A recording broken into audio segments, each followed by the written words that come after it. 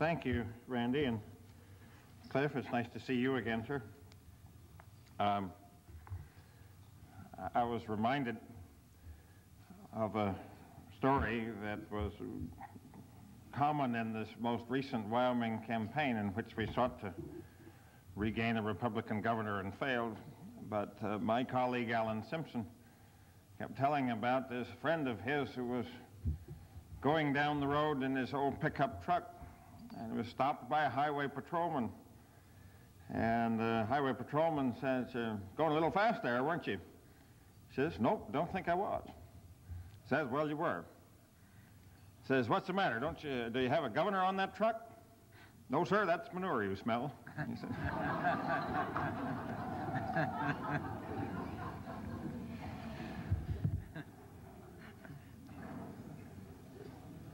I was also reminded when I was listening to sort of where I had been uh, in the, in the Senate in Randy's introduction of a time just after I had been appointed to the Intelligence Committee and I'd gone back to Wyoming for one of the early uh, constituent trips that I, that I was taking. And I was asked by uh, an elderly Republican lady uh, what committees I was on, and I told her about the, uh, about the Judiciary Committee and about the Environment and Public Works Committee, and, and, uh, and said I also serve on the Intelligence Committee. Oh, how nice, she said. I always thought they needed one of those. well, I'm here to tell you that when I came uh, to Washington, uh, I was a rancher, and uh, I used to shovel for free what I now get paid to go around the country and shovel. now, I, kn I, knew very little, frankly, about intelligence when I was appointed to that committee. Uh, I, you know, I was a devotee of spy novels and a variety of such things. But I really didn't know then that it is the first arm of a free nation's defense of its freedom that without an adequate intelligence capability, nothing we do or no way we respond in the world can have any consequential meaning. No amount of arms buildup can confront a threat that we don't or cannot recognize. No amount of defense of the institutions of our freedom can be there without a counterintelligence capability for those who would tear them down. Cliff was just, for example, telling me at the end of the war, World War II, he joined a veterans uh, uh, organization. Uh, what was it called? The American Veterans the American Veterans Committee, who had as its motto citizens first, veterans second. And he was admiring of the stand and the, and the posture that this took, and the Communist Party penetrated it.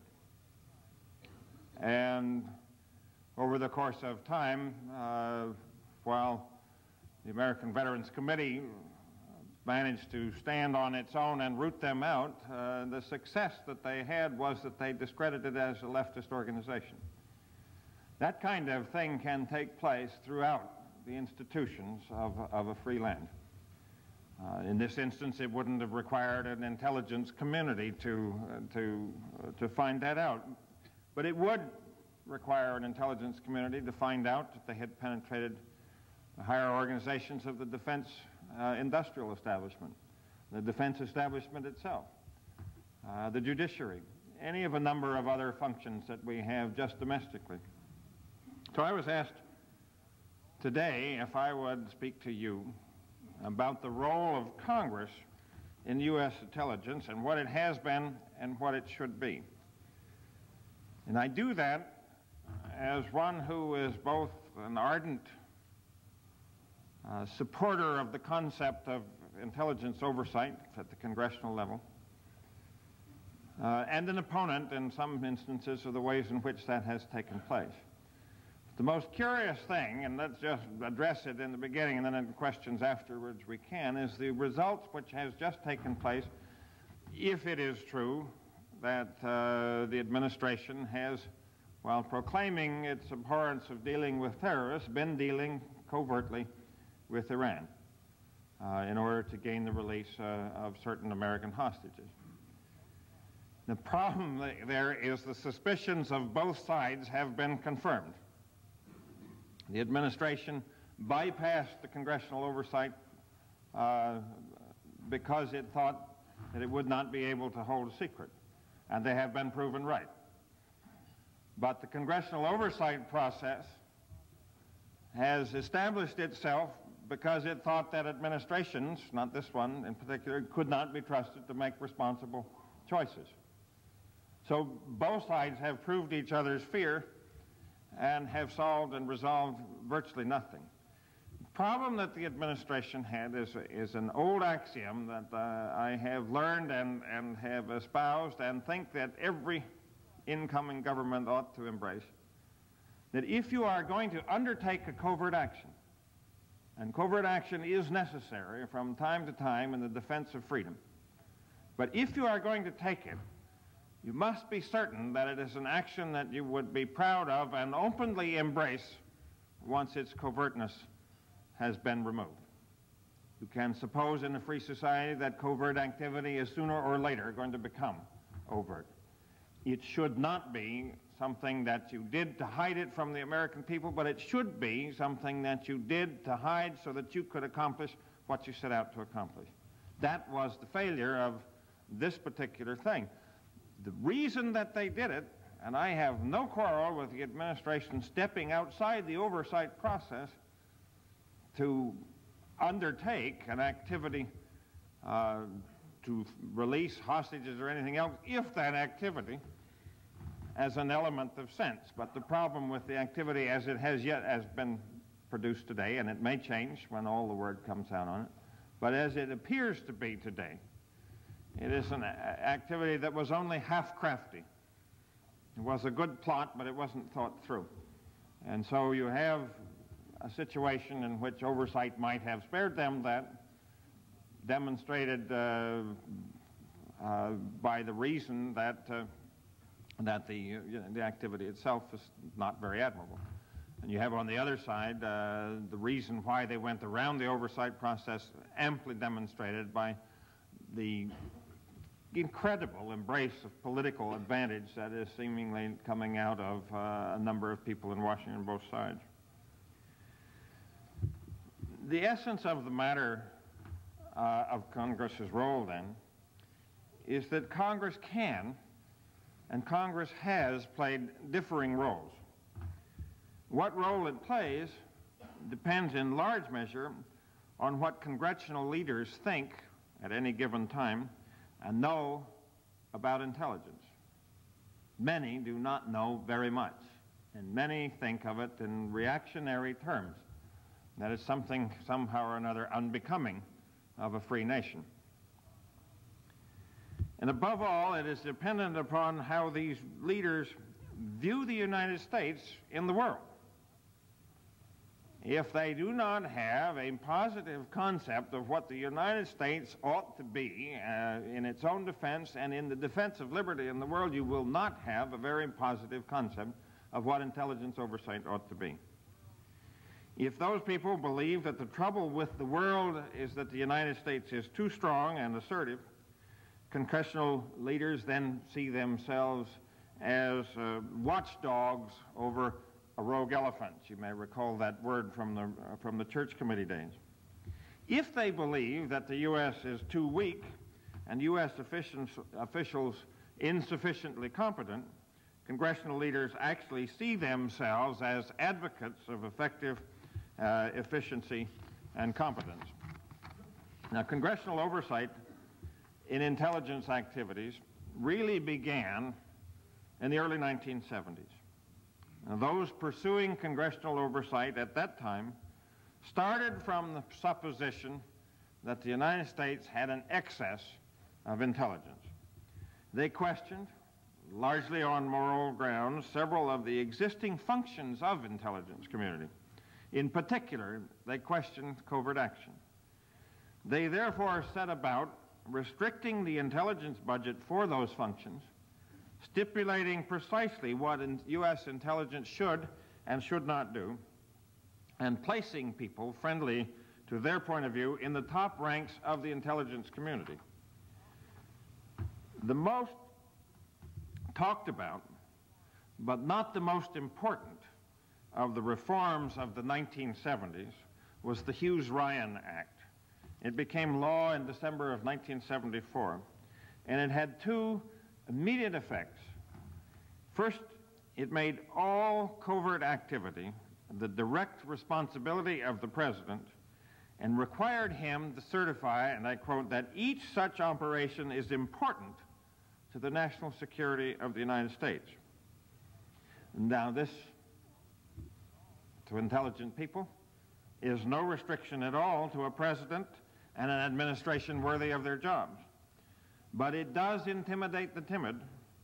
And the second thing that Hughes-Ryan gave Congress is a virtual veto power over covert operations by requiring that so many congressmen be notified prior to those operations uh, taking place.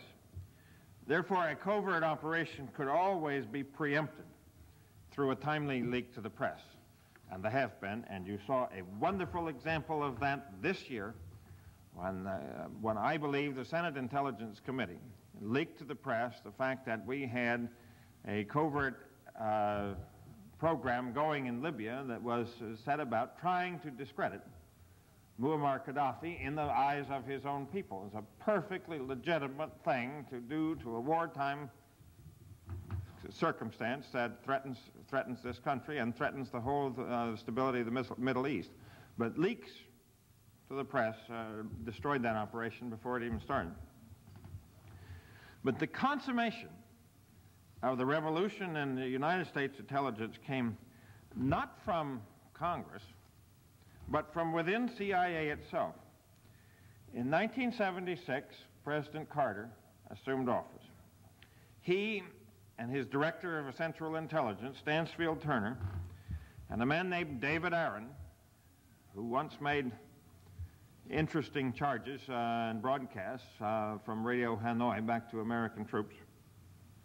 He was the man in charge of intelligence at NSC. They appointed to positions of responsibility at the CIA people like John McMahon and Bobby Ray Inman, who are precisely the people who had worked with the Congress in the early 1970s to start this revolution.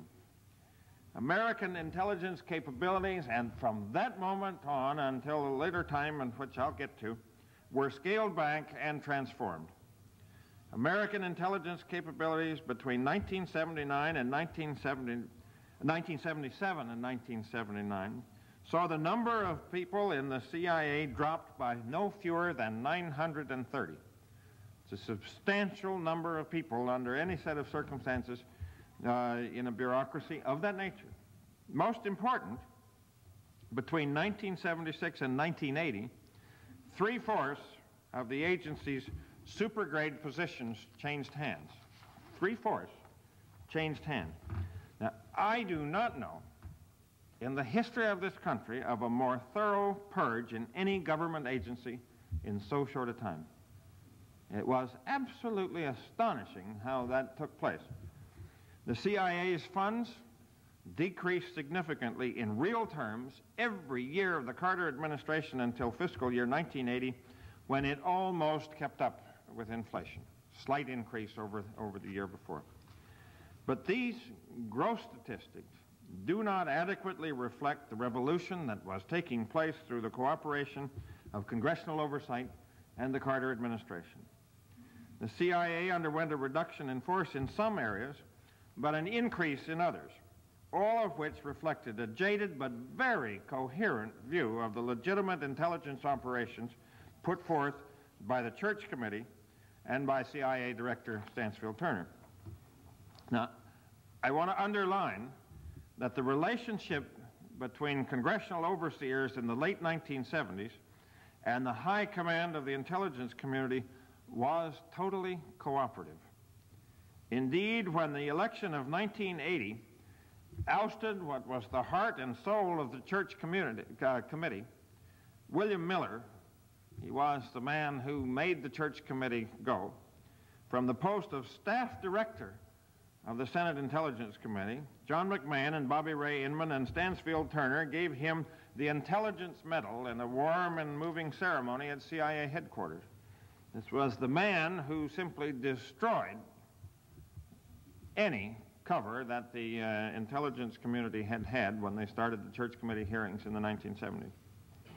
Now, what changes did this executive legislative alliance make? Well, first was the reduction in the number of clandestine intelligence collectors, humans.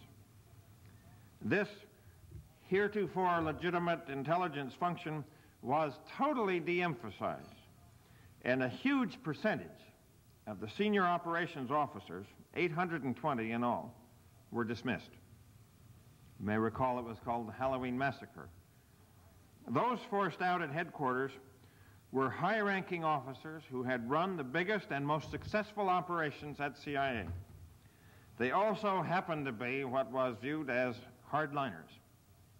I had the privilege of finding out for myself that Stansfield Turner and John McMahon were substituting justification for the truth when they said that those fired were low performers.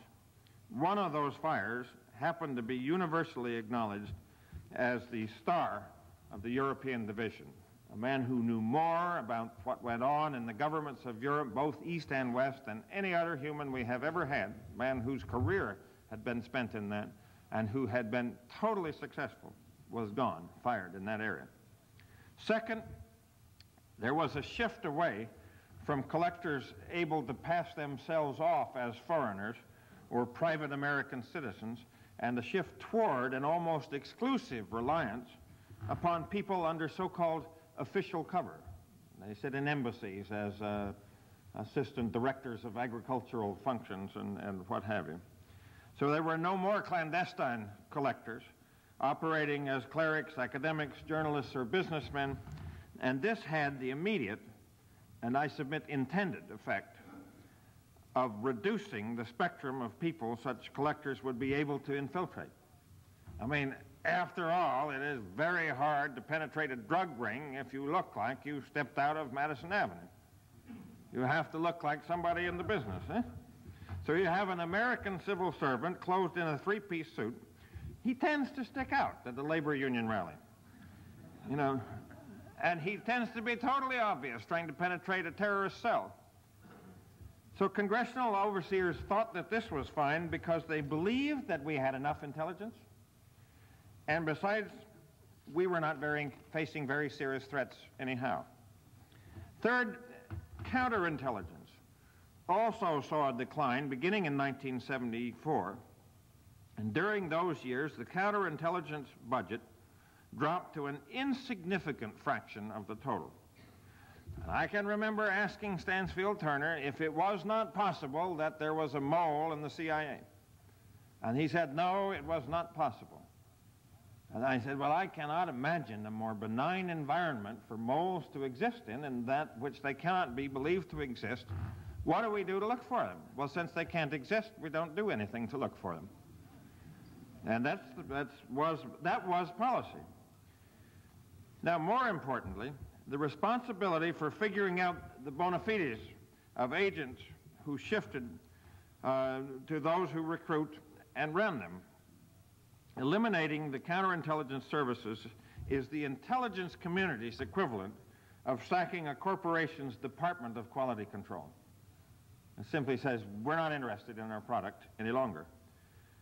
Congress, congressional overseers, however, thought that this was grand because they could not believe that hostile intelligence services could or would be so bold as to try to deceive their friends at CIA, nor so competent as to succeed. On the other hand, increasing funding went into the technical means of collection, which became enshrined in the arms control jargon as national technical means. That's what they became called. And because of the emphasis on arms control, these devices, uh, these systems, were largely designed to monitor the details of the SALT and other agreements, uh, threshold test bans, bands, etc. In some senses, these devices were over-designed in order to measure features of arms control agreements that either never materialized, uh, such as limits on throw rate, or were important only in the context of the agreement itself and not in terms of the U.S. national security. I've mentioned such things as the volume of a missile silo. It makes little difference to us what the volume of a missile silo is if the missile can shoot and hit us. Uh, or the placement and orientation of large phased array radars. You now know that we have one that is in violation, the one at Krasnoyarsk. I tell you that that is only important to us because it is located on a piece of the earth in which it's not supposed to be by the ABM treaty, but I also tell you that it is the last of a ring of six, the other five of which are totally legal, but which provide the capability of the Soviet Union for command and control of a total nationwide ABM system. So we got focused on where things were on the earth and not what the threat to the United States was. But what more important to this was the sheer expense of this path, and it led us away from others that would in a few years seem much more useful or of greater strategic importance, such as the ability of intercepting communications connected with terrorist activity or being able to find strategic relocatable targets like Soviet intercontinental ballistic missiles that are mobile and anti-missile systems. So we spent a lot of money getting more and more sophisticated systems whose view of the world was necessarily narrower and narrower, and, and, it was designed to look at places which treaty told us things would take place. The reason it took us so long to find Krasnoyarsk is because it wasn't supposed to be there, so we never looked. There was a violation of the treaty, and they wouldn't do that, so don't look over there. We suddenly found it by, by different means. Again, this whole process was in perfect sync with congressional overseers who believed in arms control the way some children believe in the tooth fairy. Now, the Church Committee and the Carter administration's approach to intelligence were consonant one with the other. They viewed hostile revolutions in Iran and Nicaragua as benign. The PLO not as a servant of the Soviet Union's revolutionary foreign policy, but as a moderate organization with a legitimate right to a place in the sun in the Middle East and arms control negotiations and agreements as the end of the need for serious assessment of Soviet strategic capabilities and Soviet strategic intentions. We didn't bother to assess them anymore because we had a treaty telling us what their intentions were. Now, by 1976, however, and increasingly through the early 1980s, a new group in Congress emerged that changed the role of the legislative branch in intelligence. I think that I, it's safe to say that I initiated this change, of course, along with uh, this change of course, along with other senators, uh, including Senator Moynihan from New York. This group carried on the process that began in the Ford administration called the B Team, an exercise that, that took the intelligence assessment of CIA's an anal analysts and gave the same information to a group of independents led by a Democrat, a liberal Democrat from Harvard named Dr. Richard Pipes, and some others. It was not a partisan group, it was just a group of scholars, and they said, look, here is the information upon which the CIA based its, its conclusions. You look at this information and tell us your conclusions. Well, they did, and they came to a drastically different conclusion than the CIA had come. And in my first four years on the Intelligence Committee, the CIA spent more of its time trying to discredit the B team than it did to find out anything about the Soviet Union. Well, ultimately, the B team's analysis became what was and remains the conventional wisdom of what the Soviet Union had been doing from the 60s on through the middle 70s. Its assumptions were not that an intelligence excess existed, but that U.S. intelligence had never been adequate to the Soviet threat in the first place, and that recently it had declined while that threat had grown.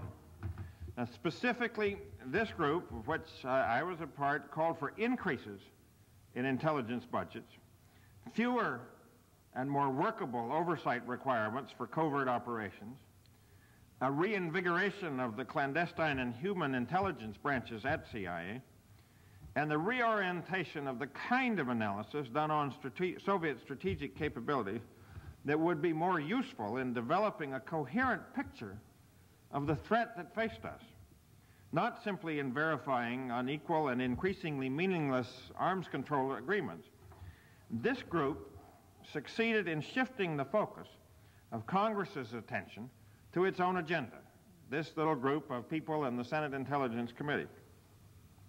It won that crucial battle for the agenda, and by 1978 it forced the Church Committee forces to feel obliged to cast their continued efforts to denude U.S. intelligence in the language, at least, of trying to improve it. And it was a major accomplishment. At last, it was, I think, our only accomplishment. With the election of President Reagan in 1980, it gave the uh, uh, executive branch an opportunity to work with this new thrust of congressional oversight. Indeed, in those days, the Congress gladly uh, agreed to an unprecedented rate of increase in both personnel and funding for the CIA. The Reagan administration declared that as a result of this funding, everything has been fixed. More importantly, the Reagan administration made virtually no change in the higher ranks of U.S. intelligence. Now, keep in mind what I told you happened, and three-fourths of the senior grades in a matter of two years were replaced. No change in those three-fourths of any consequence.